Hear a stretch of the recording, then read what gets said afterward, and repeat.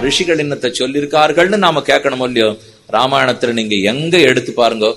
ராமன்னாலே ரிஷி என்ன சொன்னாலும் அப்படியே கருடுவார் பதிலே பேச மாட்டார். வசிஷ்டர் சொன்னார் ராமன் கேட்டார். விஸ்வாமித்திரர் சொன்னார் ராமன் கேட்டார். பரத்வாஜர் சொன்னார் ராமன் கேட்டார். விஸ்வாமித்திரர் ராமன் அழைச்சின்னு போறார். பெரிய உருவத்தோட தாடகை வந்து நின்னாள் வந்ததிருந்த தாடகதன் உரத்த கீறி வருகுருதி பொழிதரவன் கணையொன் நேவி மந்திரங்குள் மரமுனிவன் வேள்வி காத்து என்ன குலசேகர பெருமாள் பெருமாள் திருமொழியில ஆச்சரியமா பாடுறார். இவ்வளவு பெரிய தாடக வந்த உடனே அம்பு விடுறாமா கோனுடுனார் விஸ்வாமித்திரர். ராமன் அம்ப பூட்டிட்டார்.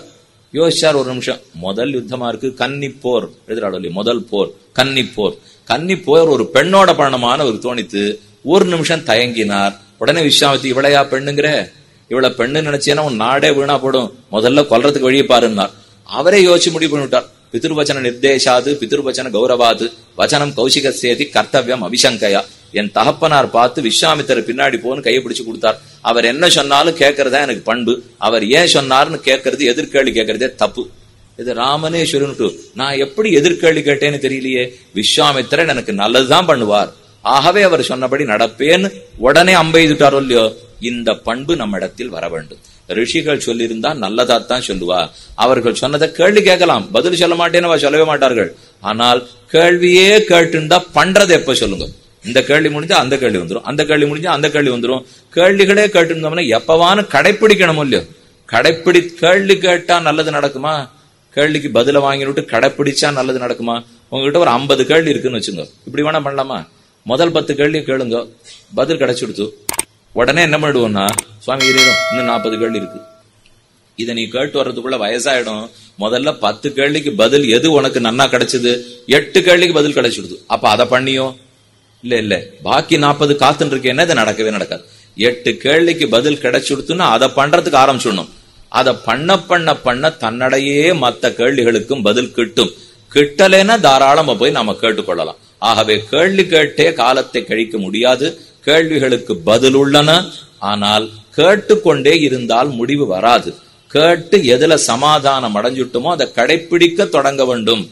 ராமன் அப்படித்தான் கேட்காம கடைப்பிடிச்சிருக்கார். அதுக்குன்னு அவருக்கு ஒண்ணும் தெரியாதுன்னு அர்த்தம். விபீஷனிடத்துல விடை பெற்று கொண்டு புஷ்பக விமானத்துல ராமன் புறப்படுறார். யுத்தம் முடிஞ்சு போச்சு. கிடுகிடுன்னு அயோத்திக்கு திரும்பி போயாகணும் நந்தி கிராமத்துல போய் பரதனை சந்திச்சாகணும். ராமனுக்கு அவசரம். ஏன்னா பதினாலாவது வருஷம் முடிஞ்ச உடனே பதினஞ்சாவது வருஷம் முதல் நாள் உன் முகத்தில் தான் முழிப்பேன் என்று ராமன் பிரதிஜை பண்ணி கொடுத்திருக்கார். பரதன் சொல்லியிருக்கார். சதுர்தசேகி சம்பூர்ணே வருஷே கண்டி ரகுத்தம.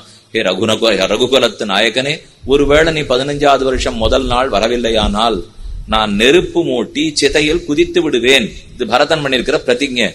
பறக்கிறார் ராமன். நிஜமாவே பறந்து விட்டார். ஆகாச விமானத்துல பறந்து போறார். விபீஷணன் கேட்கிறான் ரொம்ப நாள் கஷ்டப்பட்டிருக்கிய ராமா. காட்டுலயும் மலையிலையும் துன்பப்பட்டிருக்க.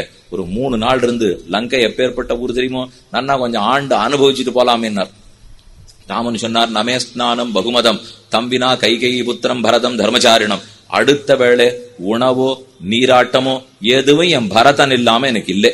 அடுத்த வேளை அவனோட தான் பிடுங்கிட்டு கிளம்பிட்டார் நிக்கவே இல்லை கிளம்பிட்டார். நேர விமானம் பரத்வாஜ ஆசிரமத்துல வந்து இறங்கித்து ராமன் உள்ள போறார் பரத்வாஜர் இடத்துல பேசி திரும்பி போறச்சே வந்து சொல்லிட்டு போறேன்னு சொன்னேன். அதுக்காக தான் பரத்வாஜா வந்தேன். அவசரத்தில் இருக்கேன். தேவடை நமஸ்கரிச்சுட்டேன். போயிட்டே இருக்கேன்னா கொஞ்சம் அவசரம் புரிஞ்சுக்கணும் போல இந்த பரத்வாஜர் அவர் ராமன் கையை தொட்டுண்டு ராமா இன்னைக்கு ராத்திரி இங்க தங்கிட்டு போனார்.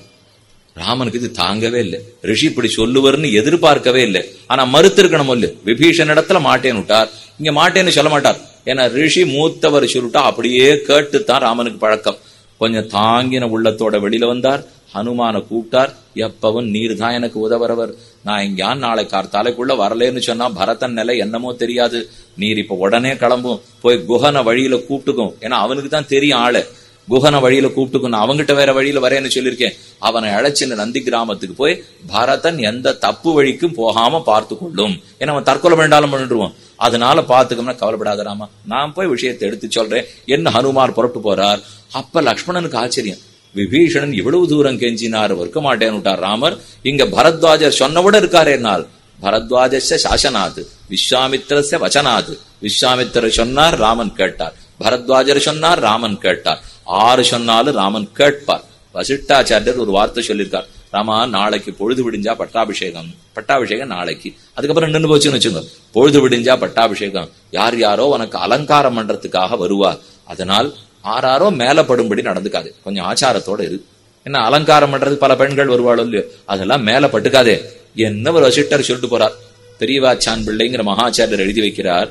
ஒருவேளை சீதையினுடைய புடவை தலைப்பு ராமன் பேரில் பட்டு விட்டதோ என்கிற சந்தேகம் வந்தால் ராமன் சரையுல் வே நூறு தடவை முழுக்கிட்டு வருவார். எழுதி வச்சிருக்காரு. வசிட்டாச்சாரியர் சொன்னது என்ன இப்போ? யாரோ பெண்ணு மேல பட்டுக்காதேன்னு சொன்னா கைப்பிடித்த மனைவியினுடைய தலைப்பு மேல பட்டுதோன்னு சந்தேகம் வந்தா. படவே இல்லை. எங்கேயான சீத்தனுடைய புடவை முந்தான தலைப்பு மேல பட்டிருக்குமோன்னு சந்தேகம் வந்தா ராமன் கிடுகிடுன்னு போய் நூறு தடவை முழுக்கு போட்டு வருவார்னா என்ன ஆச்சாரம்? அந்த வசிட்டர் வார்த்தையில எத்தனை மதிப்பு அவருக்கு? அவர் ஒரு வார்த்தை சொன்னாருங்கிறதுக்காக இத்தனையும் செஞ்சுட்டாரோ இல்லையோ? வசிட்டாச்சாரியர் ராமனிடத்துல சில சிலது சொல்றார். அடுத்த விஷயம் விண்ணப்பிக்கிறேன். நமக்கு எப்போதுமே சாஸ்திரத்தில் நம்பிக்கை வேணும். பெரியோர்கள் சொன்னதை நம்பணும் அவர்கள் சொன்னபடி கேட்கணும். கைகை சொன்னாள் ராமன் கேட்டான். தசரதன் சொன்னார் ராமன் கேட்டார். சரபங்க சொன்னார் ராமன் கேட்டார். சுதீஷ்ணர் வழி சொன்னார் ராமன் கேட்டார். எங்கு போனாலும் இந்த பெரியவர் சொன்னார் ராமன் கேட்டார் கேட்டார் கேட்டார். விடாமல் அப்படித்தான் இருக்கும். அப்ப பெரியோர்கள் சான்றோர்கள் சொன்னால் ஏத்துக்கொள்ளும் மனப்பக்குவம் வந்துடுத்துனாலே சனாதன தர்மத்தின் பாதி விஷயங்களை நம்ம தாண்டிட்டோம்னு அர்த்தம். ஏன்னா அவர்கள் தான் அதை நன்கு கடைபிடிச்சிருக்கிறவா இப்ப நாம அவ சொன்னதை கேட்க மாட்டேங்கிறோம். மனு இப்படி சொல்லியிருக்கார் பரத்வாஜர் சொல்லியிருக்கார் போதாயனர் சொல்லியிருக்கார் கௌதமர் சொல்லியிருக்காருன்னா கேட்க மாட்டேங்கிறோம் இல்லையோ. அவ என்ன சொல்றது நாம் என்ன கேட்கறது? முதல்ல அவர்கள் எழுதியிருக்கிறதெல்லாம் படிக்கணுமே. அவ இன்னது நம்ம நல்லத்துக்கு சொல்லியிருப்பான்னு படிக்கணும். அந்த படிச்சப்பறம் அதை நன்கு கடைபிடிக்க வேண்டும். இதுல ராமனுடைய உதாரணம் தான் முக்கியம்.